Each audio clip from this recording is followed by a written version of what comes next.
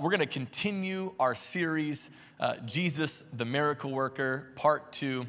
And, uh, and I want to read out of John chapter 5, verse 2. We're going to be looking at another miracle of Jesus. And it, it reads like this It says, Now, there is in Jerusalem by the sheep gate a pool in Aramaic called Bethesda, which has five roofed colonnades.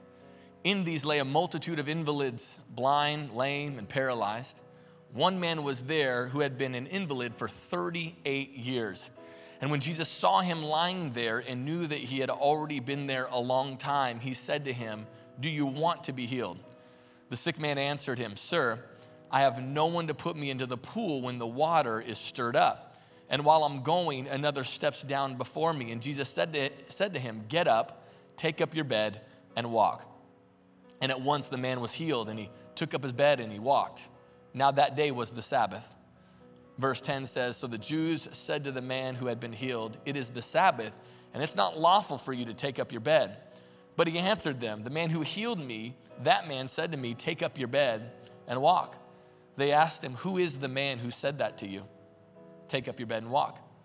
Verse 13 says, Now the man who had been healed didn't know who it was, for Jesus had withdrawn as there was a crowd in the place. And afterward, Jesus found him in the temple and said to him, See, you are well. Sin no more, that nothing worse may happen to you. The man went away and told the Jews that it was Jesus who had healed him. I want to preach today uh, from really the message titled The Miracle by the Pool. The Miracle by the Pool. Uh, let's pray together over the preaching of God's Word. God, we're grateful for you today. And God, God what an honor it is, uh, God, that even though we can't gather in person, God, the, the fact that we can watch this, uh, some watching with family members, some watching with roommates, some watching alone, God, that we can actually gather around your word and gather around worshiping you. God, what an honor it is. And so, Lord, we pray that you would speak to us today in a profound way. God, that you would help us to be good stewards of the miraculous things that you want to do in and through our lives. In Jesus' name. And we all said, Amen. Amen. Uh, have you ever been in a situation uh, where you thought you were ready for something? Like, like you really thought that you were prepared, uh, you thought that you had been trained up, you thought that you were ready for it, um, only to realize once you get into it that you were actually really only just ready for the initial phase of that thing. You weren't really ready for the long haul, you were just ready for the initial moment. Uh, this happened to me, and this was fully exposed um, the day that Christina and I had our children. And by Christina and I, I mean the day that Christina gave birth to our children, okay? Um, I, remember we showed up uh, uh, to the hospital um, on the day um, that, that, we were to have our kids, and, and, and, we show up, and I was pretty hyped. My adrenaline was pumping. I, I, was, I was ready to go. And, and we get in this room, and, uh, and, and we're kind of, that's kind of the holding room, it's the holding area. And, and, and then they bring us into another room where Christina kind of gets ready and puts on the gown and does the whole deal. And at that point, um, we were given a time. So that we were expecting to kind of go into the room to have the children at a particular time. And, uh, and nurse comes in and says, hey, um, we actually have to, have to slide you back uh, because there was a, an emergency C-section that, that needs to take place with your doctor. And so we're gonna, we're gonna slide you down. And I don't know if you've ever had this moment, but I knew in that moment that I had peaked too early emotionally, I just had peaked too early. My adrenaline was high. I had the stuff on and I'm ready to go. And they say, hey, uh, we're going to push you back. And they ended up pushing us back. It was about an hour, hour and a half uh, that they had pushed us back. And I could tell I was drained by the time uh, that this happened. So they take, they come in about an hour and a half, two hours later. They take Christina to a room. I was expecting to go with her to the room, and they didn't take me. They said, "Hey, we're, we're going to get her all set up." We're going to get her all set up and get her all ready to go, and then we'll bring you in just before it happens. And I'm like, okay. So they, they take her away, and I'm sitting in a room, and now I have this gown on, and I have the, I don't know why they gave me like the thing, that, the hair net thing, but, but, but, but, but they, give me, they, they give me all this stuff, and, and, and I'm there, and, uh, and they're like, hey, okay, it is, it's now time. And I thought I was ready for this, but I'm already emotionally drained because the two hour time difference. And, and, and, they bring me into a room, and I, when I, right when I walk in this room, Christina's laid out like she is the Christ. She, she, she has her arms like just out, and, and, and she's numb, and they're getting ready to go. And, and right when I walked in, I gotta be honest, I was lightheaded. Like I thought I was going to pass out. Like this was a lot on me. Like this was a lot on me physically, emotionally. This was a lot. I don't know what Christina was going through but I was going through much, okay? And the reality is, I, I was ready for the initial thrust. I, I, was ready for the initial moment. Right when we get to the hospital, I was ready to go, but, but I just really actually wasn't ready to, to watch this play out. I, I wasn't ready to endure this entire experience. And, and here's what I believe I believe that our world is great at the appearance of preparation. I, I, believe our world is great at the appearance of preparation. Like, I, I think, like, for example, when you get a college degree, that's a great thing. That's an amazing thing. That's a great accomplishment. However, that is the appearance of preparation. Uh, people get certificates and, and they do they take online courses, and that's great. And that's incredibly helpful. But that is the appearance of preparation. People get letters of recommendation, and that's an amazing thing. I, I write many letters of recommendation, and that's great. And I tell people, you know, who are looking at hiring somebody how awesome that person is, and yet that is the appearance of preparation. See, see, the reality is we don't really know what's in us until we find ourselves in the situation. These are things that testify that we're ready for something without actual proof that we will be able to navigate it once we are in it what I've come to realize is, is this is that life is about the moment after you get what you want. Life is always about the moment after. Life is not about that, that, that moment that you've been dreaming about, thinking about. Life is what you do with it after you have had that moment. This is why movies are great for entertainment, but not great for life training. Because movies always stop shortly after the climax. So, so, so movies have this build up, this build up, this build up. The climax is resolved, and then it, it kind of starts to land the plane a little bit, but, but it doesn't land the plane quite all the way. And then the movie's over, and we go, oh man, that movie was great. That was awesome. I'm glad that they resolved some of the issues, and I'm glad that that, that, that was figured out. The problem is that that's not real life. In, in fact, there comes a moment after every like you know key moment in life where things flatline. And the question is what do you do in that moment? What do you do with those moments where life seems to flatten out after you got what you wanted? See we don't have we don't see what happens in movies after the flatline of the climax of the movie. In, in fact we don't really know if andy dufresne uh, and you know red's uh, business worked out in mexico we're, we're, not really sure. We know Andy Dufresne breaks out of Shawshank prison and, and, and his boy meets up with him down the road, you know, uh, after he gets out in Mexico. And Andy Dufresne, uh, you know, had the desire for this business that he would take people out fishing and things like that. But we don't really know if that business goes belly up. We don't know if it forecloses. We, we, we don't know if it goes bankrupt. We don't know anything. Like, we don't know if Simba and Nala go the distance. We don't know that. We just know at the end of the movie, they end up together, but we don't know what happens after they've been married for like seven years. All we know is like, oh man, see, see, real life has the flat line. Real life has the moment after the moment, the season after the moment. And in movies, we don't really need to know, but in real life, it is very important that we know how to navigate the flat line after the moment. In fact, my point, my only point today is this is that when a moment of healing finds you, the subsequent course of events are not irrelevant. I really believe this that when a moment of healing finds you, the subsequent course of events are not irrelevant. What an amazing moment in the scriptures we hear in John chapter 5. Verse 3, it says, it says, in these, it was talking about there's this pool, and it's called Bethesda and it says, in this, this pool area, there's a multitude of invalids, and some are blind, some are lame, some are paralyzed. It says that one man was there who had been an invalid for 38 years. That is a year longer than I have been alive that this man had been an invalid. It says, when he, Jesus saw him lying there and knew that he had already been there for a long time, he said, Do you want to be healed? Have you ever uh, found yourself in an environment where you weren't really sure what you had in common with those around you? This was absolutely my experience the first time um, I went to Christian University. I went to, uh, I went to a Christian university. I spent my first two years um, at a junior college, and then I went to Christian university, and it was uh, my first time ever in Christian school. I, I, I didn't grow up in Christian school. Um, uh, I got, gave my heart to Christ when I was 17 years old, and I, I went to Northwest University in good old Kirkland, Washington. Uh, it's where I met my wife, so I'm glad that I went there. Uh, however, when I got there, I was like, these people are strange. And, and, I was a little weirded out by the whole Christian college experience.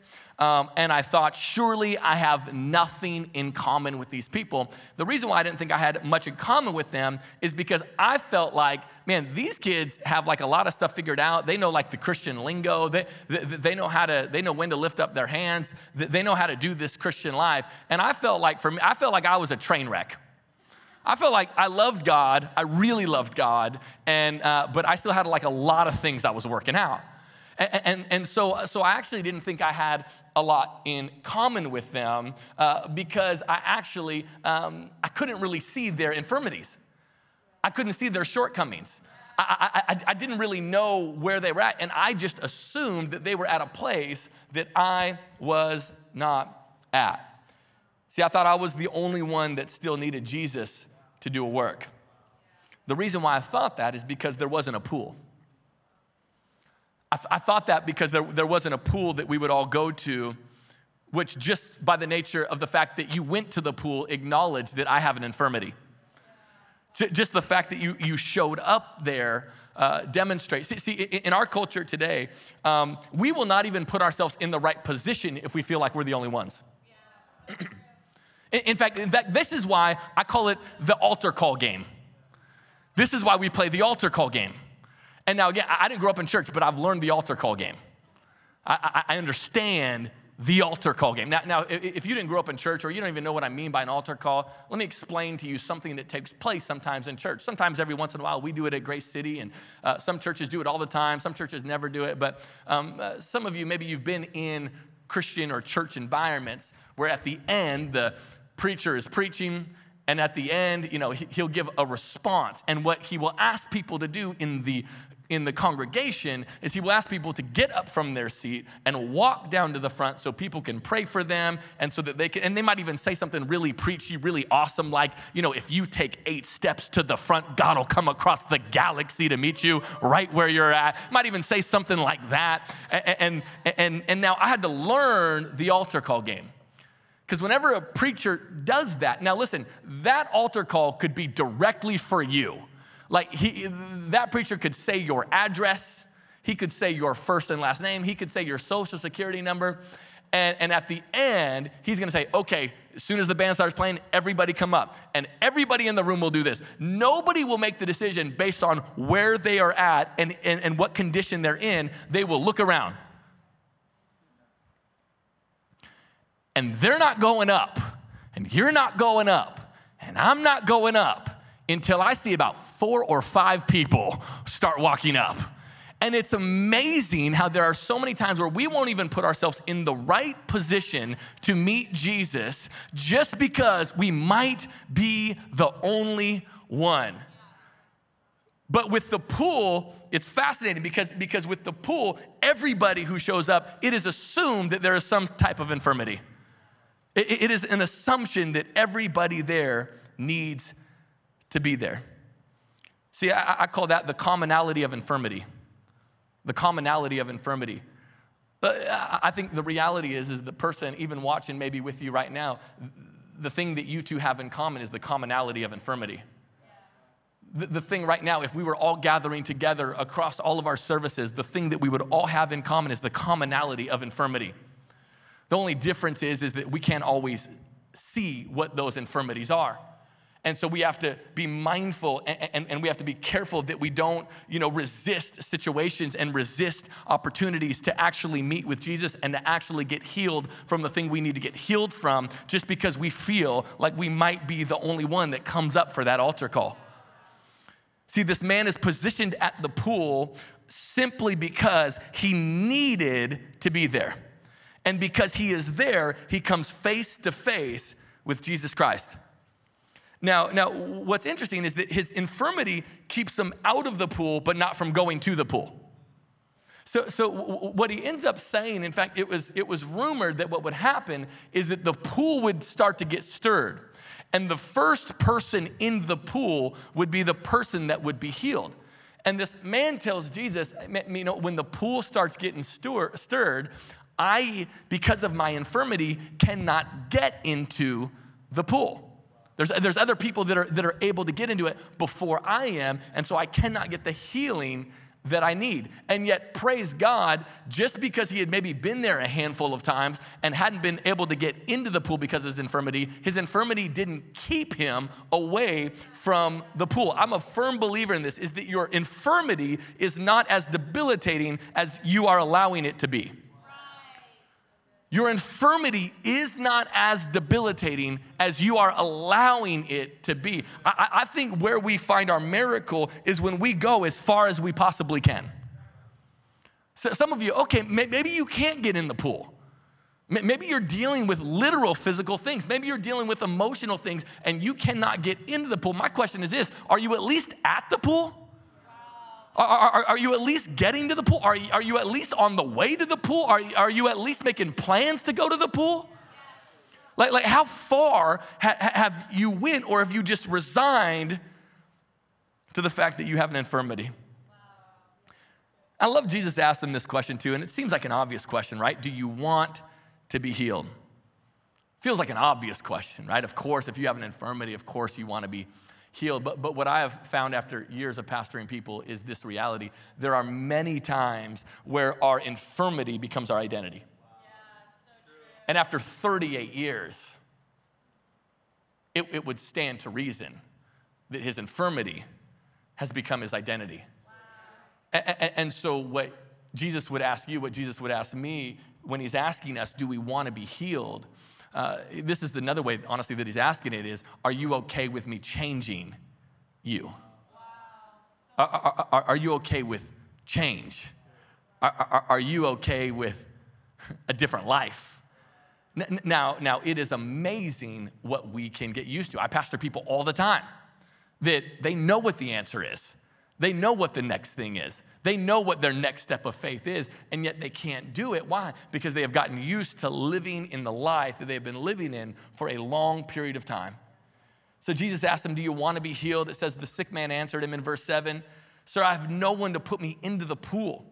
When the water is stirred up while I'm going, another steps down before me. Jesus said to him, Get up, take your bed, and walk. And at, and at once the man was healed, and he took up his bed and he walked. And now that day was the Sabbath. Now, uh, we assume, this is so big, we assume the experience of others and compare that to our real life experience. Now, this is why social media is very, very dangerous because we assume the experience of others. And then we compare that assumption, whether it's reality or not, uh, with our real life experience. In fact, speaking of Instagram, I was on Instagram the other day, and I thought a guy named Joe Tremini, I thought he illustrated this uh, really, really well. So, so I, I want to show a photo. Um, now, these were, now, he posted, um, and this was the same photo, and literally he was illustrating exactly what I'm talking about. You know, if you were to look at this photo, you would say, man, what a beautiful picture. Looks like he's on a flight somewhere, going, you know, looks like he's in Hawaii or something like that. And, uh, and, and to me, this, this is Instagram, right? This is what we do to other people. We make assumptions about what they're experiencing. We make assumptions about what's going on in and through their life and maybe how God is working in and through their life. And then, and then literally on the same post, this was, it was like one of those things where you, slot, where you, you know, swipe it. This was actually the photo that he took. And this was actually what he was experiencing. And I feel like this is so true to our lives. We make assumptions about how God's moving in somebody else's life. We make assumptions about how He's operating, and we compare that with our real life. What's interesting, he felt like he had to get to the pool because he assumed the experience of the people that had gotten into the pool. We're not even sure if the myth is correct. In, in, fact, the reality is, is that, you know, what he said is he said, hey, you know, people would wait for the pool to be stirred. And then the rumor was that if you're the first one in the pool, you get healed and nobody else does. We don't even know if that's true. And so he is making an assumption on how God works. He's making an assumption and he thinks that he has to get to the pool. He thinks it's about the pool. He thinks his miracle is about the pool. He thinks this mighty move of God is about the pool. And he thinks, man, I have to get there. And yet he is unable to get there. That's what I love about Jesus. And in fact, I want to end with a couple thoughts with this because one of the things that I love about Jesus is that this man could not get to the water. Couldn't get to the water. And, and yet, check this out. I love what Jesus said about himself. What did Jesus say about himself? He says, You know what? I am the living water. And everybody who drinks of me eh, eh, will never thirst again.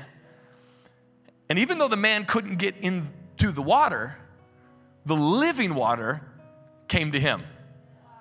Living water comes to him, shows up right where he's at. See, this man had been making assumptions about how to get a miracle. And the assumption he made is, I, I have to get in the pool. Can I just tell you, the miracle was never about the pool, it was about the faith that the pool provided. What it was always about. This is why, by the way, I, I, actually think it might be a little bit good for the church that we can't gather for a season because I think for too long we've thought, oh man, it, it's about the gathering. And I'm just here to tell you Christianity is not about the gathering. Following Jesus is not about the gathering, it is about the faith that the gathering provides. That's what the gathering does. Because here's what's gonna happen there's gonna come an end to this thing, and we're gonna be able to gather again, and we're gonna go, oh, it was never about the, the gathering, it was about when I'm in a room with other people's faith, and when I'm around other people that believe and have faith that stirs up my faith, it's amazing what God can do. It's not about the pool, it's about the faith that the pool provides. The man discovers this, he realizes this. In fact, Jesus even gives him an opportunity to exercise his faith when he asks him, Do you want to be healed? The man thinks he's missing his moment, but what he doesn't realize is the moment found him. Man, I keep missing it. I keep missing it. I keep missing it. Now, you, you only miss Jesus if you keep your eyes closed. But if you'd open up your eyes and begin to see that, man, God is all around you, wanting to meet you right where you're at, in the middle of your infirmity. He can do miraculous things in your life. Jesus asked them another curious thing. Jesus was always having people do interesting things, right? First, he asked them kind of a funny question Do you want to be healed? And then he has them do something else. He says, Hey, um, take up your bed and walk. Take up your bed and walk. Jesus tells him to take up his bed. Now, now the reality is this you got to think about this. Like, why would he need his bed? It wasn't like his real bed, it was his portable little, like, bed. Oh, why, why would Jesus have them? He could have just left it there. Just could have left it there and, and, and kept walking. In fact, it would have been more convenient for him to leave it there and go home. Jesus said, hey, hey, take up your bed, pack it up, start walking. I, a little while ago, I, I found, a, found a picture for me. You ever see like old pictures of you? And you're like, that's not me. Saw a picture of me from high school. And um, I looked at the picture and I looked at it closely because I'm like, my eyes look really red. if you know, you know. If you don't know, good on you. You're sanctified and holy. Man, my eyes are really bloodshot. I must have had a great time that day. Um, and, and I thought, what a far cry from who I am today. In fact, just this last year, or excuse me, just this last week, um, on March 27th, uh, I, I, it, was, it was the day, in fact, I, I, remembered it on that day. I didn't really remember it until it was like the day before on March 26th. I looked and I went, oh, wow, tomorrow it will be 20 years that I've been following Jesus. March 27th, following Jesus for 20 years. March 27th of 2000, gave my heart to Christ. I was just looking at a picture of me in high school from that time, just before that time, and went, man, this is a different person. And for me, it was such a great reminder. In fact, for me, uh, in a lot of ways, it was me, it was my mat. It was my bed. And I went, what a great reminder of what God can do in your life if you would just surrender it over to him. I, think Jesus had him pick up his bed and have him carry it, is because you and I, man we need to remember just what Jesus has healed us from. We got to be reminded so that when after the moment happens and there is a flat line, you have something on your persons that can remind you, man, God has brought me along. God has been faithful. God's been for me. God has made a way. We cannot forget. I believe this with my whole heart. The distance between a miracle and ungratefulness is our memory.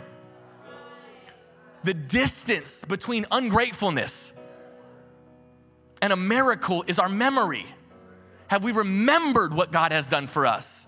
Have we, have we, in fact, what a great time to remember what God has done.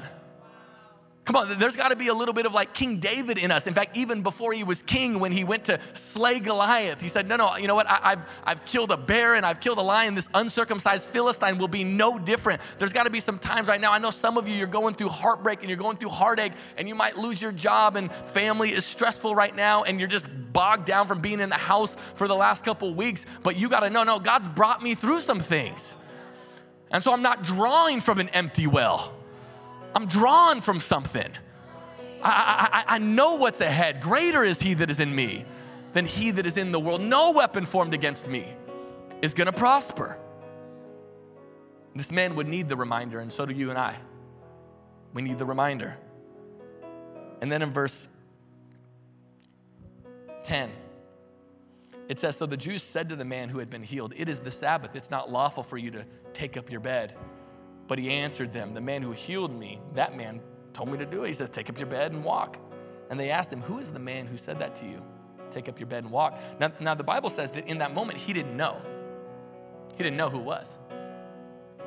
In fact, Jesus had to come back and meet him at church and say, Hey, remember me? Jesus of Nazareth. That was who did this for you he immediately gets questioned about what happened to him. Here's what you got to understand after the miracle, the pressure will mount. Right? So, so God will and has done amazing things in your life. Then, when the flat line happens, a part of the flat line happening is that there's going to be external realities that come in. You might have family members, you might have friends that go, Really? No, no, you're still the same person. No, no, no, no. You might have some internal battles going on, but you're going to have some, in fact, right about the time you start getting generous and then you lose your job, there's going to be some realities that happen in life that are to try to impose itself onto you.